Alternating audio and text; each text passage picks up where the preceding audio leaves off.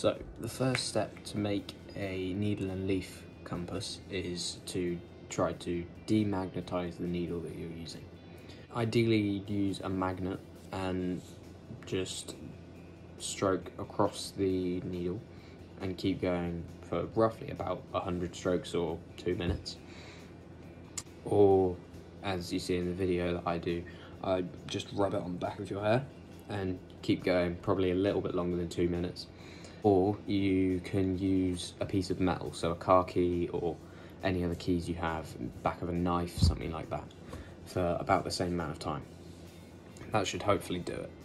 Um, and the leaf that you should use is something that will float, so nothing too big compared to the needle because you need you need the needle to be able to turn the leaf towards north. Um, so this should be a leaf small enough um, that the needle can move it, but not too big so that um, it doesn't sink, and also something durable enough that won't just disintegrate when you put it in the water.